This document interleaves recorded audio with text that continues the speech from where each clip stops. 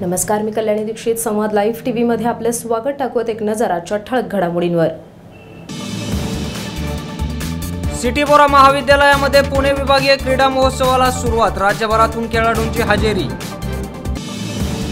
कार्तिकी वारीसाठी शिरूर आगाराची भाविकांना खास सुविधा. वारीसाठी दहा जादा गाड्यांची सोय.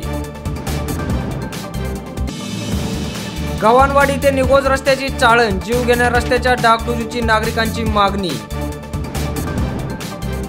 आता बातम्या सविस्तर. धावण्याच्या स्पर्धा मुलांचे जल्लोष अटीतटीचे सामने हा सगळा माहोल पाहायला मिळाला चांदमल ताराचंद बोरा महाविद्यालयात. यशवंतराव चव्हाण महाराष्ट्र मुक्त विद्यापीठाच्या पुणे विभागीय क्रीडा महोत्सव सिटी बोरा महाविद्यालयात पार पडला. या क्रीडा महोत्सवाचं उद्घाटन पुणे विभागीय केंद्राचे संचालक डॉक्टर पंडित पलांडे यांच्या हस्ते करण्यात आलं. यावेळी शिरूर शिक्षण प्रसारक मंडळाचे महासचिव प्राध्यापक नंदकुमार निकम महाविद्यालय नियामक मंडळाचे उपाध्यक्ष अनिल बोरा नगराध्यक्षा वैशालीताई वाखारे यांच्यासह महाविद्यालयाचे प्राध्यापक वर्ग हजर होते. स्पर्धा चालू आहेत. त्यासाठी इथले ब- बाहेरगाव सातारा सांगली कोल्हापूर या ठिकाणाहून पुणे यासारख्या मोठ्या मोठ्या शहरातून मुले खेळण्यासाठी आलेली आहेत आणि स्पर्धा इथे अशा भव्य दिवस स्पर्धेत चालू आहेत आणि इथे सगळे जेवणाची वगैरे स्पर्धासाठी स्पर्धकांसाठी सगळ्या सुविधा वगैरे केलेल्या आहेत आणि मी स्वतः एक फुटबॉलमध्ये आंतरराष्ट्रीय खेळाडू आहे आणि माझे प्रशिक्षक सौ गाढे मॅडम यांनी मला प्रशिक्षण चांगल्या प्रकारे दिलेलं आहे. मी प्रवरनगर येथे शिकायला होते. आणि त्या ठिकाणी मला व्यवस्थितरित्या प्रशिक्षक प्रशिक्षण भेटलेलं आहे. यशवंतराव चव्हाण महाराष्ट्र मुक्त विद्यापीठ विभागीय केंद्र पुणे आणि चांदमल ताराचंद बोरा महाविद्यालय अभ्यास केंद्राच्या वतीनं या ठिकाणी विभागीय क्रीडा स्पर्धा आयोजित केलेल्या आहेत. पुणे सातारा आणि सोलापूर या तीन जिल्ह्यातून अनेक वेगवेगळ्या क्रीडा स्पर्धामध्ये विद्यार्थ्यांनी सहभाग घेतलेला आहे. सुमारे दोनशे सव्वा दोनशे स्पर्धक क्रीडा स्पर्धक या ठिकाणी आलेले आहेत. या ठिकाणी सांघिक कबड्डी आहे हॉलीबॉल आहे त्याचबरोबर खो खो आहे. आणि मग ॲथलेटिक्समध्ये लांब उडी उंच उडी गोळाफेक भालाफेक त्याचबरोबर शंभर मीटर दोनशे मीटर तीनशे मीटर पाचशे पाचशे मीटर एक हजार मीटर आणि पाच हजार मीटरचा स्पर्धा आहेत. One hundred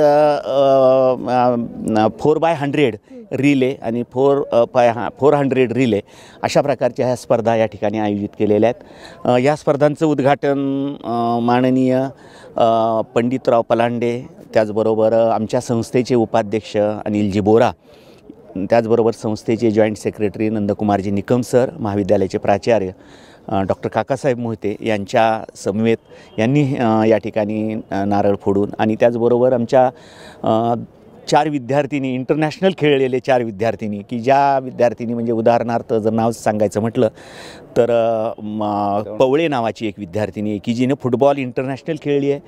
त्याचबरोबर दुसरी विद्यार्थिनी आहे दौंडकर. पवार नावाचा एक विद्यार्थी आहे आणि नारायणगावची एक विद्यार्थिनी. असे एक चार विद्यार्थ्यांनी क्रीडा ज्योत या ठिकाणी आणली. कॉलेजमध्ये हे नियोजन पहिल्या वर्षी झाले दुसऱ्यांदा झालेलं आहे. तर उत्तम प्रकारे नियोजन झालं आहे आणि आम्हाला ग्राउंडसाठी खूप मेहनत म्हणजे प्रत्येक साई सिटी बोरा कॉलेज करतं. आणि आम्हाला ग्राउंडला जी हेल्प लागेल ते आमचे आधारस्तंभ काही अडचणी आल्या ते आमचे पैलवान हेच करतात. आणि यांच्यामुळे जे यश आहे ते आम्हाला आजपर्यंत यांच्यामुळेच भेटलेलं आहे.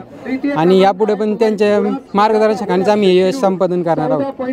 संत ज्ञानेश्वर महाराजांच्या संजीवन समाधी सोहळ्यानिमित्त कार्तिकी वारीसाठी आळंदीला भाविकांना यथोचित जाता यावं यासाठी शिरूर आगाराने यंदा नियोजन केलंय. आळंदीसाठी शिरूरमधून जादा गाड्या सोडण्यात येणार आहेत. आळंदीतही भाविकांसाठी आगाराकडून खास सोयी सुविधा करण्यात आल्या आहेत. याचीच माहिती दिली आहे शिरूर आगार प्रमुख सुभाष धुमाळ यांनी. आळंदी यात्रेनिमित्त दरवर्षीप्रमाणे याही वर्षी दिनांक बारा ते सोळा या यात्रा कालावधीसाठी शिरूर आगारातून दहा जादा गाड्यांची व्यवस्था करण्यात आलेली आहे.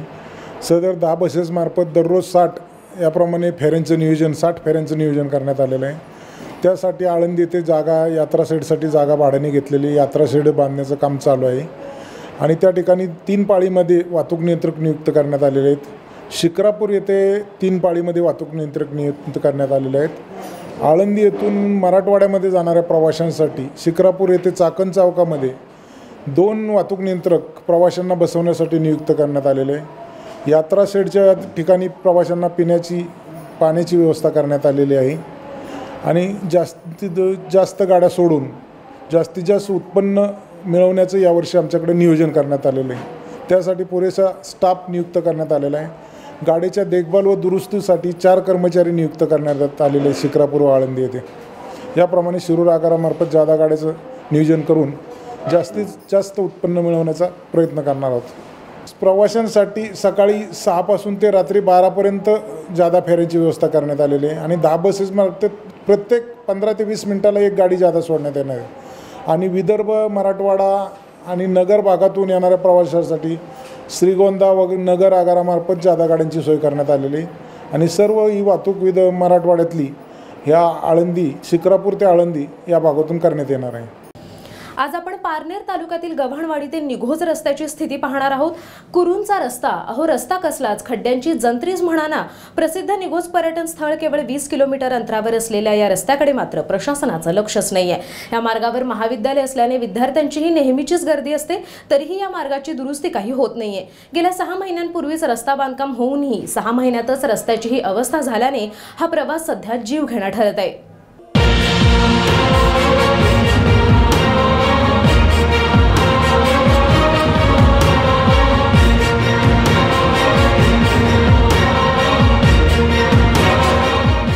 महिन्यामध्ये असा रस्ता आहे. मी शहाजी लहान पोरं आहे आज तीन महिन्यामध्ये असा रस्ता म्हटलं इथून पुढे काय होणार आहे? म्हणजे यांनी पैसे खाल्ले असणार आहे. बरोबर की नाही? पैसे घालले म्हणजे रोड कसं व्हायला पाहिजे चांगलं व्हायला पाहिजे ना अजून तुम्ही पुढे गेले. अजून बघा खड्डे कसे अजून याच्या याच्यापेक्षा त्याचे टू व्हीलर यात मोठी गाडी जर आली रस्ता कसा क्रॉस करायचा आम्ही? आम्ही ह्या रस्त्याने खूप ट्रॅव्हल करतो पण आम्हाला याचा खूप त्रास होतो इथं मोठे कंटेनर वाहतात त्यामुळे आम्हाला खूप भीती वाटते. एस टीमुळं फास्ट पुढे गेलं तर टर्न घेतात एस टीवाले त्याच्यामुळं प- पुढच्या येणाऱ्या गाड्यात ना हा रे रोड खराब असल्यामुळे साईडला पण नाही हे करता येत नाही. खड्ड्याचा त्रास होतो असं आमच्या ह्या गाड्या आहेत ना यांचं फार नुकसान होते.